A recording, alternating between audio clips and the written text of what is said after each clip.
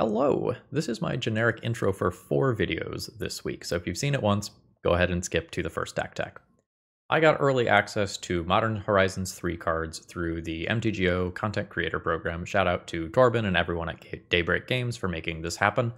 So I have recorded an absolute ton of matches with Modern Horizons 3 stuff. What I chose to do was do a deck tech and then do one or maybe two rounds with a deck and then switch decks. So this week is going to be like deck tech game, deck tech game, deck tech game, going back and forth. I have tried to organize these in a way where I am releasing these as a batch of four videos in a way that makes sense. Um, I have occasionally posted these out of the order in which they were originally recorded. So if I refer to something weird that you haven't seen yet, no, I didn't. Um, I hope you all enjoy. Uh, my brain was absolute mush as I sat down and recorded Modern Horizons 3 matches for six hours straight. Um, especially in one of the final rounds, I made some errors that were pretty big, but I hope you'll forgive me.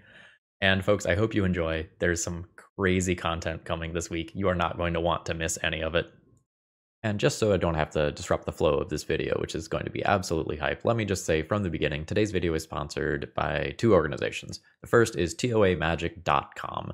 Tales of Adventure is an awesome store, and Modern Horizons 3 is going to massively shake up the legacy metagame. You are going to need cards.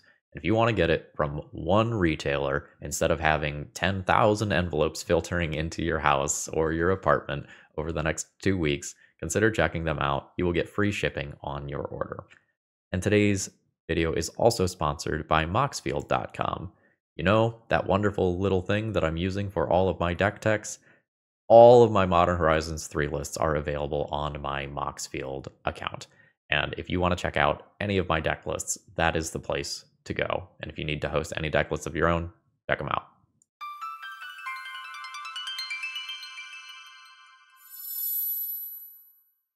Let's take a look at a possible post-ban Death and Taxes deck list. Um, and one thing that I want to state here is that I am a very big believer that when you want to test new cards, you play too many of that new card to evaluate how good it is, and then you dial back to a more reasonable level later. So I have built this as very, very, very light black splash death and taxes. Uh, Thoughtseize is something that is probably necessary in the 75 right now but I want to max out on new cards for the purposes of testing them for this video, so I am going to set Thoughtseize to the side. All right, now that I've done that justice, let's talk about the build. White Orchid Phantom is a very interesting card. It has good stats to start with. It is a flying creature with first strike, and a 2-2 body means it does not die to Bowmasters. When it enters the battlefield, destroy up to one target non-basic land. Its controller may search their library for a land card, put it onto the battlefield tapped, and then shuffle. So against some legacy decks, this is just a two mana Stone Rain on a creature. I mean, we like Sinkhole on this channel. It is a fun card, but this is Sinkhole on a flying first striking 2 2 body that can then be blinked to do it again. That's pretty fucking cool. And we are going to play it with another very good blink creature. Phelia Exuberant Shepherd. This is a 2 2 flash creature. Again, doesn't die to Bowmasters. Big deal. When it attacks, exile up to one other target non-land permanent. At the beginning of the next end step, return that card to the battlefield under its owner's control. If it entered under your control, put a plus one plus one counter on Phelia. So this is a way for us to recycle our White Orchid Phantom and repeatedly blow up our opponent's lands, other than the usual like Flickerwisp, Yorion nonsense that we're very much used to from these sorts of decks. One thing that I want to evaluate is whether or not playing flagstones is cute or good. So, flagstones is something that people historically have played with Cataclysm as a way to kind of keep a land after they cast Cataclysm and blow up most of the lands. We can use White Orchid Phantom targeting our own flagstones to destroy our flagstones and fish a land out of our library, and then fish a second land out of our library from the flagstones trigger. And that's pretty cool.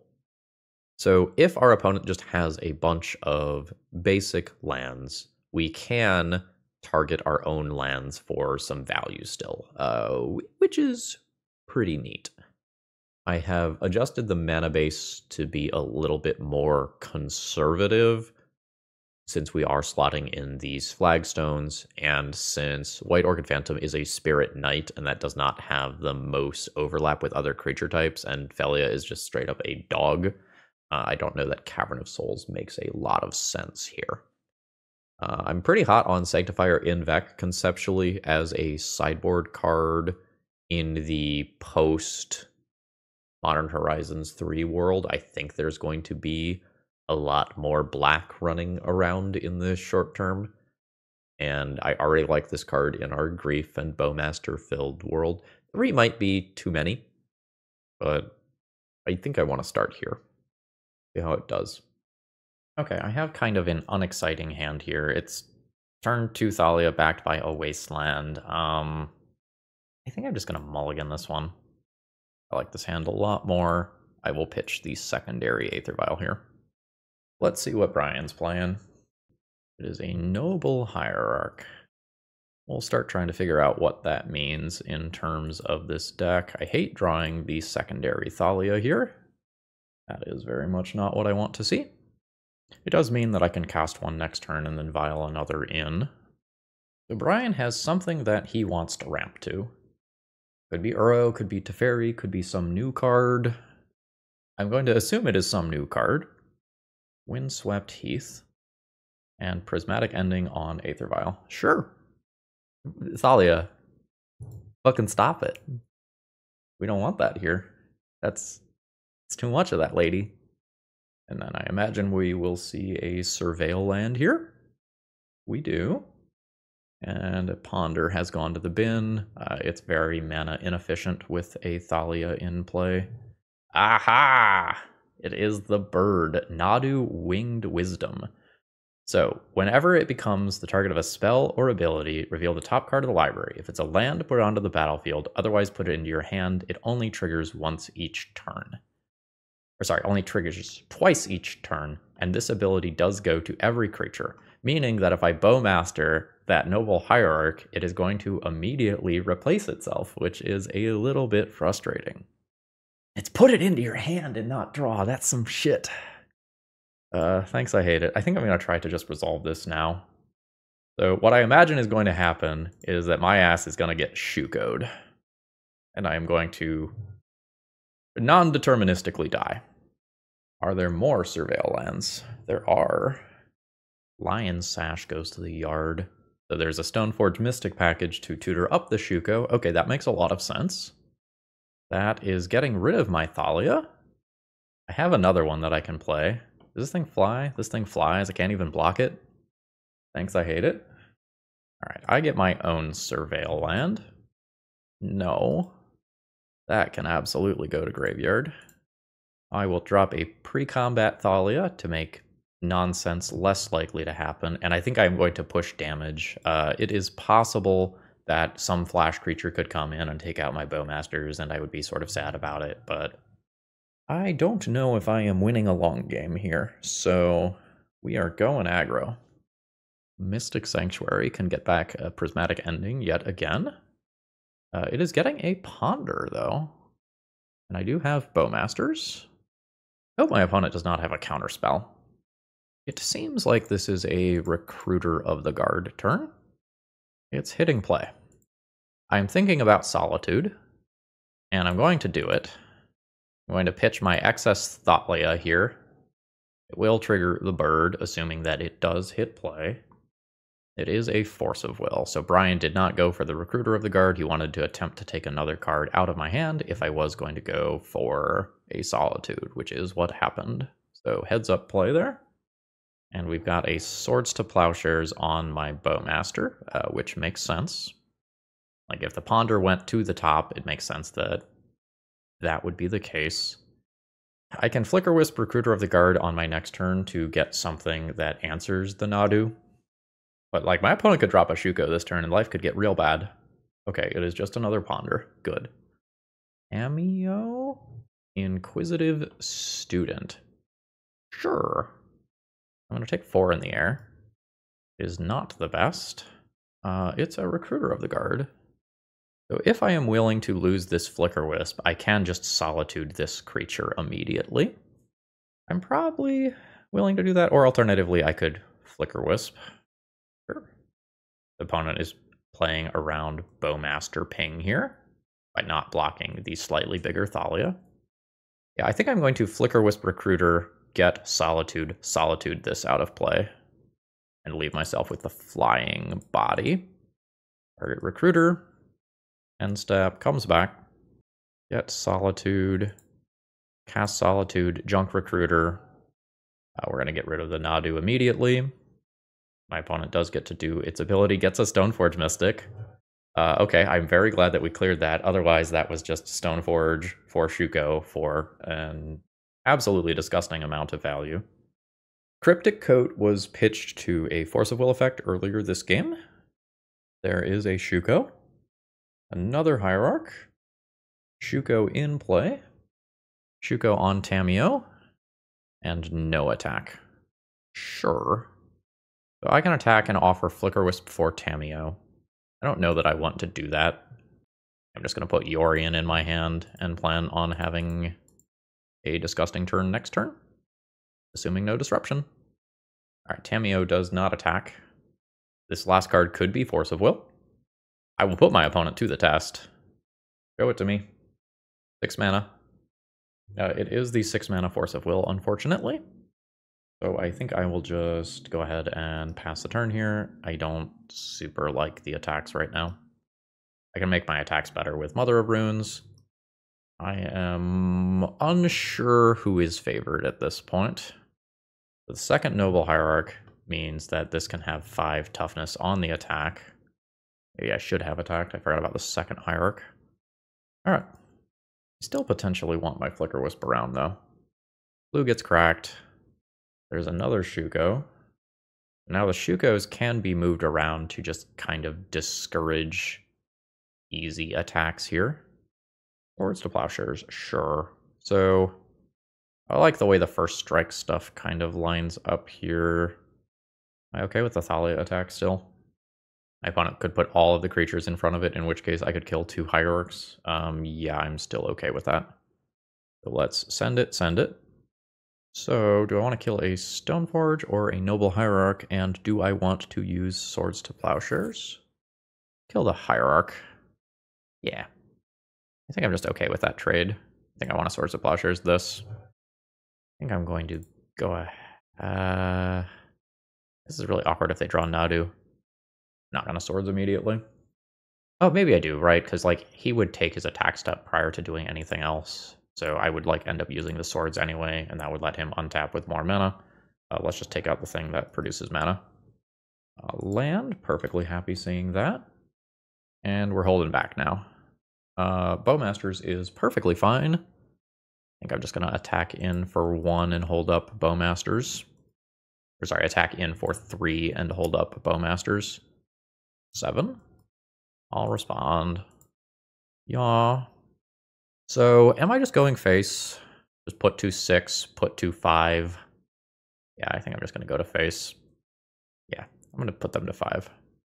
All right, it is a Nadu. So now Shuko can start doing this thing, where my opponent generates a large amount of value in a way that is not technically drawing cards for the purposes of Orcish Bowmasters and this is going to allow my opponent to make a large number of land drops. Uh, I'm going to need to auto yield to a lot of things here. So this is not necessarily a deterministic win or anything, uh, but it will generate a very large amount of value for my opponent. Yep, yep, yep. Uh, auto yield to that too. So this triggers twice for each one of the creatures, and then Brian can like fetch and start to play stuff from hand from there. I'll pop out the revealed zone here as it does seem like that is going to be quite relevant. So there's an actual land drop from hand, dropping a hierarch, and now the Shuko can be moved over there to repeat this process. I do have a Mother of Runes defending my Orcish Bowmasters from something like Swords to Plowshares. What is this Stoneforge getting? Kaldra, sure. And this can re-trigger Field of the Dead. Oh, wow. Okay. That one was not on my bingo card. Everything else that I've seen so far has kind of made sense. I guess let's always yield to that. Oh, oh, I see. So now the Field of the Dead zombies can do Shuko nonsense. Oh no, that's real cute. That is, that is a very good addition. So I imagine this process is going to uh, repeat quite a bit at this point. So now I'm going to jump to giving you uh, notable updates. Okay, something is about to happen. It is fetching, which re-triggers Field of the Dead, which means that the Shukos can activate more times. Prismatic ending targeting Mother of Runes. So I will attempt to save Mother of Runes. Brian can now use multiple copies of Swords of Plowshares to take out Bowmasters and Flickerwisp or Bowmasters and Mom, uh, which we are going to see. So at this point, I can go ahead and F6. Uh, there is a Stoneforge Mystic attack with a 5-4. And I am facing down a lot of power. I have three in the air, that is invalidated by this. I think I'm going to take a chump block of some kind. Okay, and it seems like Brian is now passing the turn and is going to discard a handful of cards. Flicker Wisp. Flicker Wisp does not quite get me there. I can get through for three points of damage if I blink this out of play. I don't have the last point of damage, and I am going to die to just going wide. I can have four bodies I blink one of these, this one, two, three, four, five, uh, well, no, because the Shukos can be moved to the things in the air. So I always take at least five, meaning that I am at six. Brian can maybe just fetch. I could blink my Bowmaster, Bowmaster ping Brian to three, and try to stay alive for one turn. Ah, right, yes. That I imagine means that I am going to die on Brian's combat step. So no fetching there for extra Field of the Dead zombies. There's a Karakas. Nadu is now protected for the rest of the game. Uh, doesn't look like I've seen a basic land, by the way, so my spirits are probably quite good here. Alright, so I block a critter. I block a critter. I'm currently taking, what, 8, 9, 10, 11, 12, 13, 14, 15 so I make this block, I take 8, 9, 10, 11, 12, I am dead. Uh, that was kind of a crazy game. So, I need to look at the wording of Nadu. So the cards could go into hand. Deafening Silence could, I guess, technically do some things. Battle of Bywater could do some things. Lauren is a good tutor target. I'm definitely playing that. At the Exile is absolutely good. I'll be playing that. And like, not super excited about Deafening Silence. I like Bowmasters, I like Phantom, I like Thalia, I like Stoneforge still. I like my cards. Extraction Specialist is a bit niche. I think I still like Vial. Flickerwisp does not necessarily have the best targets. And then I will trim one Phelia trim one Phelia. My opponent does have Karakas after all. Uh, this hand is quite awkward. If I get to wasteland my opponent in the first turn cycle, I think this is fine. If I don't, it's pretty sketch. Um, I don't know that I win the game keeping that hand. Uh, this is a stronger hand. I'm going to throw back the Bowmaster since I do not have black mana. I am certainly not drawing my new cards that I want to showcase, such as the woes of playing with an 80 card Yorion deck list. Let's see what Brian is starting off with. Non basic land Noble Hierarch, and I get to disrupt both, would be kind of cool. Negative. So I don't think I am wastelanding here. I need this mana since I did not draw another land. We'll say yes, and this is just going to be Kaldra. I would very much like Kaldra to solo this game backed by Wasteland and Swords to Plowshares for relevant creatures. But a Swords to Plowshares here is incredibly good. Yep, yep, yep. That's rough. Uh, I have no valid play. I'm not going to Wasteland when I am already missing land drops. Yikes. Brian could Wasteland my Wasteland here to keep me off of additional mana sources. Uh, it is not the best two for one, like, but if Brian gets ahead on board and I am unable to play any cards, like this is perfectly fine. Oh god. Okay. Um, I think I will probably just concede here. I don't think this is going to be good gameplay from here, and I would rather get more matches in with new cards. Okay, I am on the draw. I have a one lander that's pretty good if I draw another land or if Vial does not get countered. Otherwise, this hand is sort of awkward. Flagstones plus Phantom is a way to ramp. Uh, I would rather just have lands. I'm going to try to keep this.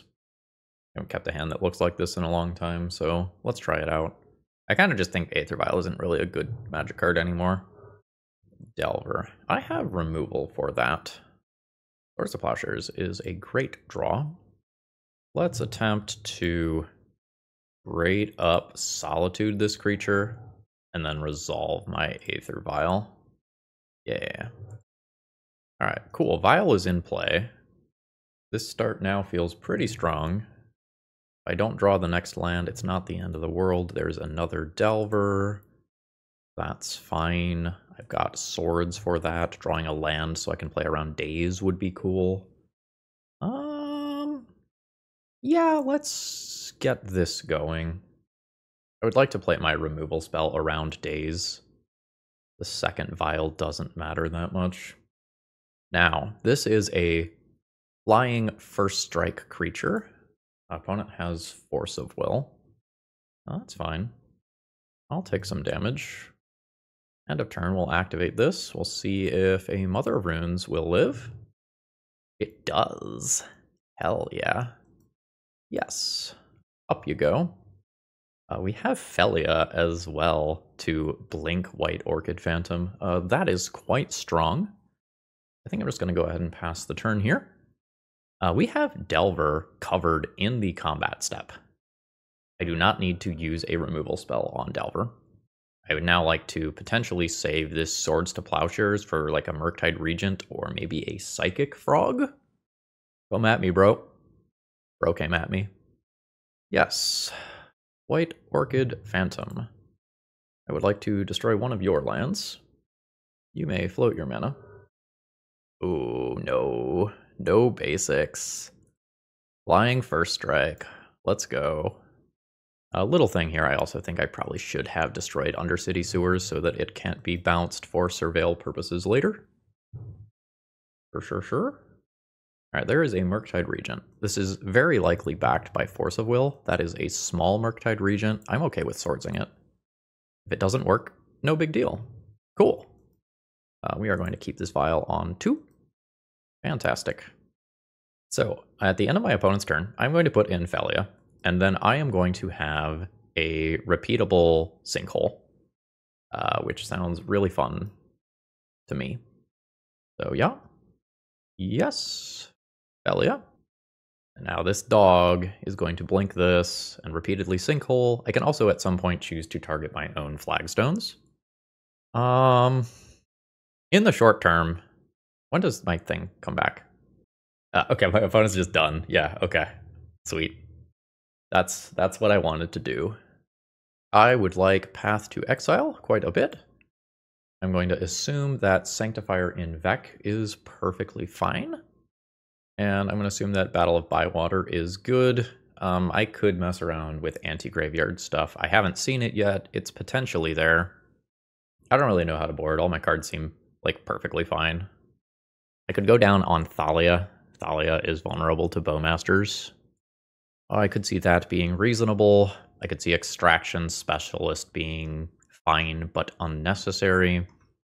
And I can potentially just trim one Phelia. Seems good. Awkward keep worked out, by the way. Uh, this seems this seems fine. Like it has removal spell. I know my opponent does not have basics, so like Path and White Orchid Phantom are very very good together. All right, it is a Delver yet again. Let's just start off this game with a basic land. Yeah. Basic plains, and I am fine just removing the Delver immediately. If I eat an, a daze, I eat a daze. I have White Orchid Phantom coming, so, like, it's all good. Just a cantrip. Shocking. And playing a new Delver. I've got that handled. I think I am fine continuing to fish basics out of my deck. Uh, show me your Daze or equivalent. Nope. Uh, take out Underground Sea. You would like to find a basic land? No?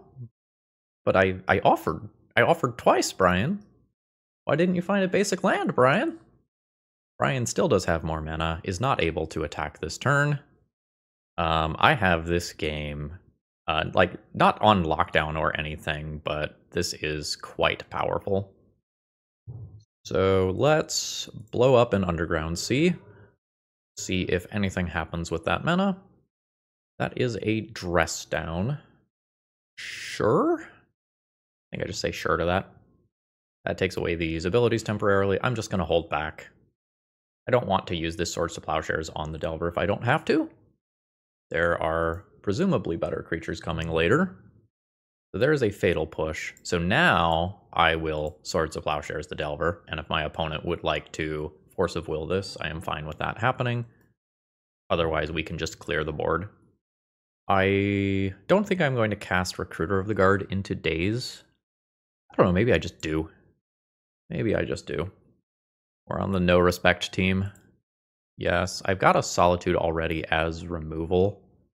I could pick up Phelia. Phelia's a little slow. I think I'm just going to pick up another land destruction spell. Like, the ability to tutor for land destruction is sort of stupid. I've got Solitude covering a Murktide Regent, potentially. Exsanguinator Cavalry. Yeah, you got it. Not worried about dying to that. Ooh. Yeah. I think I'm very interested in that. There's potentially a Force of Will. If Force of Will happens, I lose Lion Sash, but then I resolve the Phantom and just blow up another land. All right, Force of Will pitching Ponder. I lose Lion Sash. So now, we'll just bam. I'll continue to fetch basics, because basic lands are good. I will resolve the Phantom. The Phantom will blow up an Underground Sea. And I'll pass the turn. On my next turn, I can just Solitude, Exsanguinator Cavalry, and start getting in there. Yep, yep, yep. Okay, so there's another land. Brian is holding back. This is a land one way or another. A little awkward with Wasteland there. I think I am just going to cast this. Yeah, and that's that's enough. Absolutely savage. I'll do a longer deck tech when I actually record with this list, but I have also put together a green-white land destruction deck list um, that focuses around White Orchid Phantom's ability to destroy lands, and then the abilities of six, which when it attacks you mill three cards, you can put a land card from among them into your hand, uh, and Deeproot Wayfinder, which when it deals combat damage to a player, you get to surveil one, you can return a land from your graveyard to the battlefield tapped. So the idea here is that you can recur or find your wastelands. And with Six's ability, as long as it's your turn, non-land permanent cards in your graveyard have retrace. So these nice, like smaller creatures that like can just like die or whatever, or your opponent uh, otherwise removes them because they have an impact on the game. You just like discard a land later on and you get to rebuy these creatures. And we've seen these sorts of effects from pre-war formal wear, Serra, Paragon, um, Reclamation, if you go back further, and they tend to be okay. I, I think it is going to be good flexibility. And to get saucy with this deck list and to make sure that we have time to kind of set up our thing, I'm going to try a main deck set of Vexing Bauble here as a way to stop counter spells and sort of bridge us to the mid game that we want to be in. I'll go into some more details with the deck building later, but I think that is going to be enough to kind of get us started for today. Uh, like one of the other deck lists that I'm going to be showcasing in these videos, we are also going to be playing flagstones so that we can blow our own blow up our own flagstones if we do need to ramp. All right, we are playing against Bryant again. Uh, I don't really like this opening hand, assuming that we are playing against combo. I'll just keep this and put back some land. So Bryant needs a counter spell here, or needs to go off in response to me playing Bauble. Uh, hold on. That was weird. It was a dark color for a second. Okay, good. All right, we are playing a game of Magic. Force of Will, confirmed good card. So my long-term plan is six to get that bauble back. Oh my god, I just drew another one off the top. Um, insane. Absolutely insane. So now I'm going to go ahead and play Wasteland, help cover the polluted delta aspects. All right. I don't know if this is going to soft lock my opponent just fully out of the game here, but there is a very good chance that that is the case. So now I can discard a land to put another bauble into play, uh, should I have the need to do so. All right, we've got some action. More fetching. More fetching. There is a Necrodominance in play now. Or just two cards. Uh, this is straight up just a value Necrodominance. We will go ahead and attack in with six. We mill three cards. I'll take a basic plains. That's fine. Hit for 12. I'll wasteland my opponent. I can play Stoneforge Mystic. I think I'm just going to put another Bauble into play, uh, just in case. We'll discard that plains that we already showed Bryant. Oh fuck, I can just do this multiple fucking times. So I can make my land drop then, play Stoneforge Mystic from the graveyard by discarding a fetch land. Holy shit, six is better than I thought. I didn't really think about just playing multiple things. I'll pick up Lion Sash, um, help cover the graveyard. Uh, this is obnoxious. So here's the Necro trigger. Uh, going down to two, there is a Leyline of Anticipation here. Note that a large amount of ritual mana can still kill me. Bauble very much counters. I assume we might see something like a mini Tendrils to survive if I am not just outright dead. Storm count's not very high right now. I think if I eat a Tendrils from Graveyard, Bryant can't win, based on the deck list that I saw previously. Alright, there's Cabal Ritual, no Threshold. Force of Will, build Storm. Bryant is cooking. Like, we're going to counter the Force of Will. This is hilarious. Pact of Negation in response, build Storm. I'm going to be so happy for Bryant if Bryant wins here. I'm going to just always yield to these Vexing Bauble triggers. So this is 4 mana. I am still at 20. That's a Ponder. Lotus Petal. Storm is 9. Is there a Tendrils? There is a Beseech the Mirror, which puts the card to hand.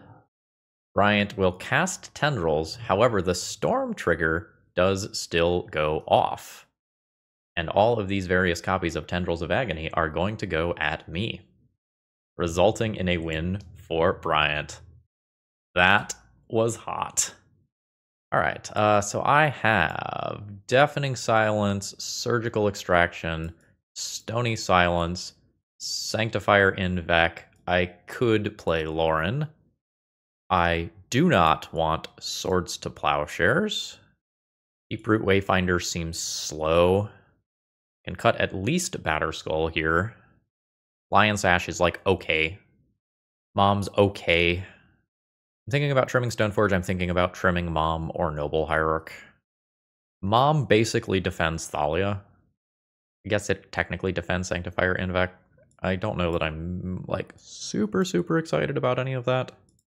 Uh, let's try this. Uh, yeah, no, this hand is great. I'm going to go ahead and just rip a Savannah out of my deck here. Yeah. Start on a Bauble, see if Bryant has a Force of Will, negative on Force of Will. Now, unfortunately, if I do play Stony Silence, I won't be able to sacrifice my Vexing Bauble to draw a card. Oh no.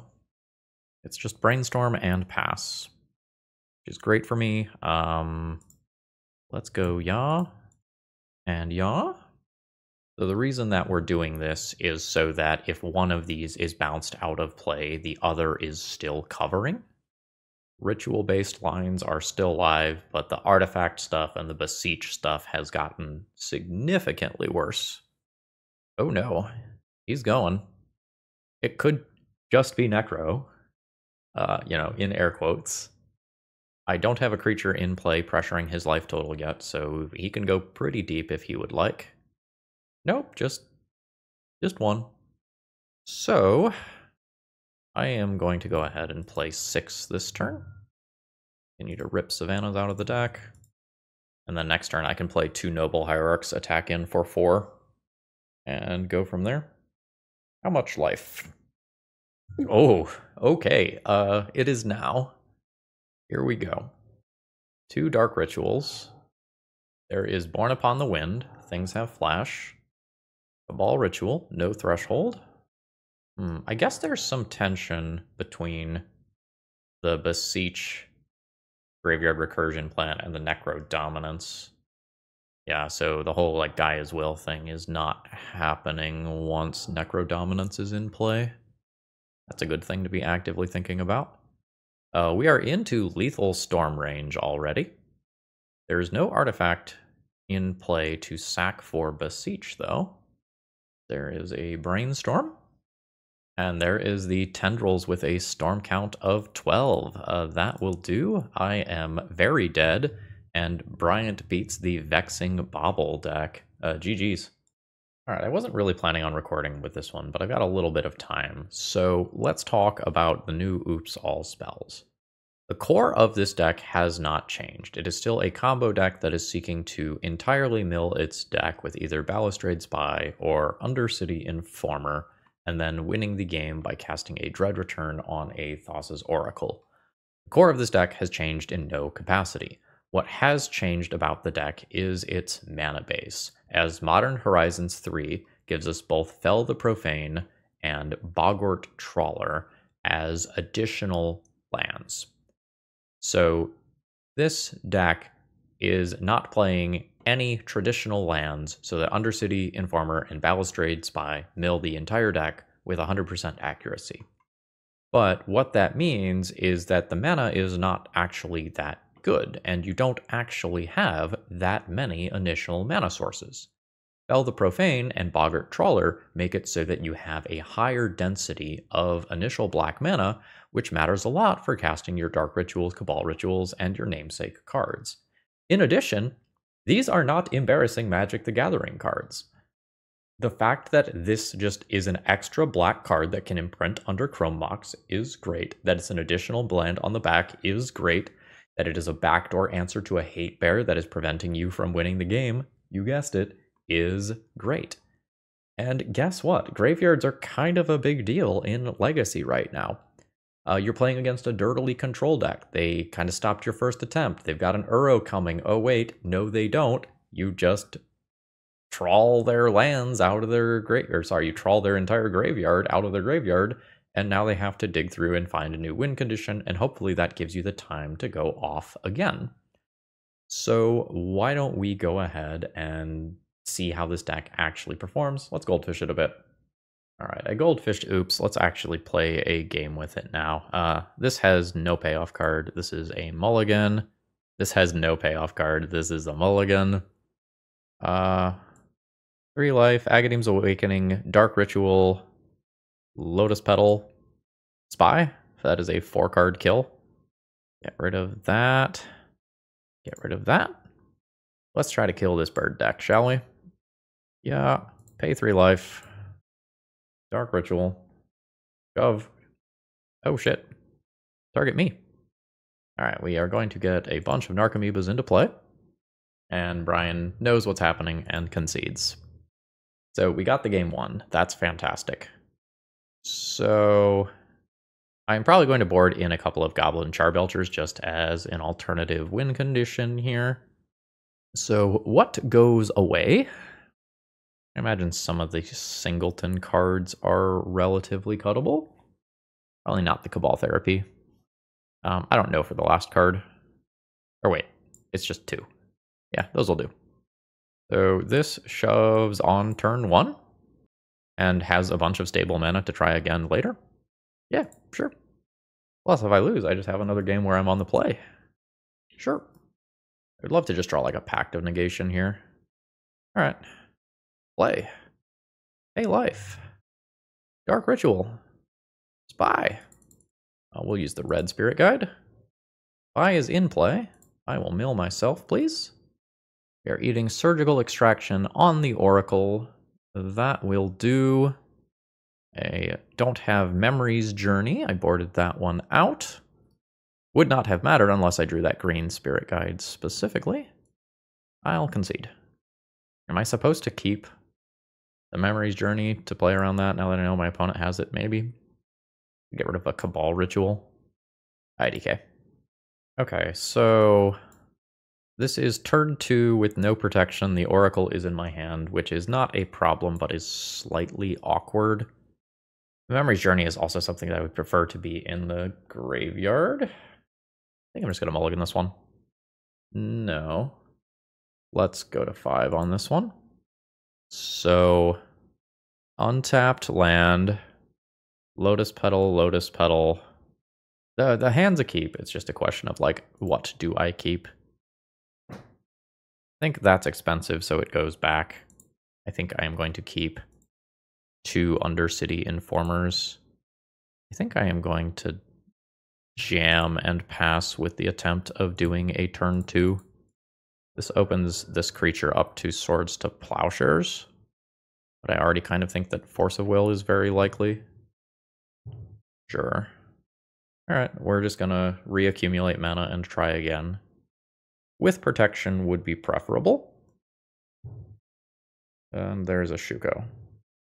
Um, three mana prismatic ending is a thing. Swords to Plowshares is a thing. Is it getting better for me to wait? It might not be getting better for me to wait.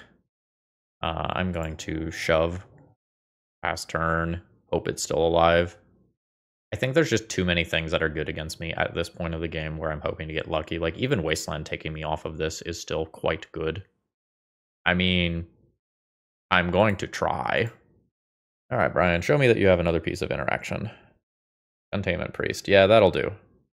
Unseed. GG's. Bird deck too strong. All right, I've kept my opening hand.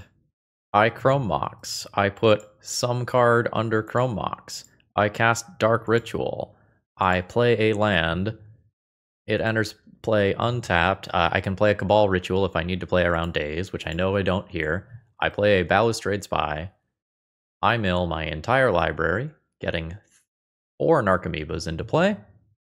Did I mention the fact that I have Pact of Negation to back this up? Uh, anyway, we cast Dread Return, targeting Thassa's Oracle, sacrificing three of our Narcomoebas, and guess what? We won the game in like 30 seconds with protection. Wow. Now, it's not always going to be that simple. Uh, this opening hand, for example, is just basically entirely mana, so this one is not going to do it. Uh, this second hand is another turn one win. Uh, we'll keep this one. We'll put back Seagate Restoration. Uh, even if we ignore the bonus mana that we just drew there, we just go Ya, Ya, pay the three life, Dark Ritual, Spy, buy mills all of our stuff. We do the whole Narcomoeba loop yet again. Uh, let's just look at one more opening hand just for the sake of comparison. All right, so once more, let's do this. Uh, opening hand doesn't look great and has multiple Narcomoebas in it. Uh, second hand, land, Chrome Mox Imprint, Chrome Mox Imprint is three of the four mana that we already need to win. So assuming we draw like another mana source, we just win. Uh, let's keep this. Yeah, let's keep this. We'll throw back one land. Okay, so Play this land. Yes. Play this Lotus Petal. Play this Chrome Mox. Do this. Play this Chrome Mox. Do this. Spy. And we are just going to win on turn one yet again, right? We are going to put all of our Narcomoebas into play. And then Dread Return, a Thassa's Oracle. You know, we have more than enough creatures here. We could also Cabal Therapy first if we need to. Um, this deck picked up a scary degree of extra consistency with these lands. Um, expect people to be messing around with this card. Due to time constraints and trying to push out this content very quickly, I'm not going to record a conclusion today that has kind of all of my general thoughts. Instead, I'm going to say, come back tomorrow for more content that features all of these sweet Modern Horizons 3 cards. And if you liked any of the particular decks that you saw, I am probably going to do a full league with them as soon as the cards are available to the general public. So consider subscribing. There's going to be a lot more. And should you find that you need Modern Horizons cards, and you probably will, TOAmagic.com is the place to go. Use promo code ThrabenU to save a little bit on your order.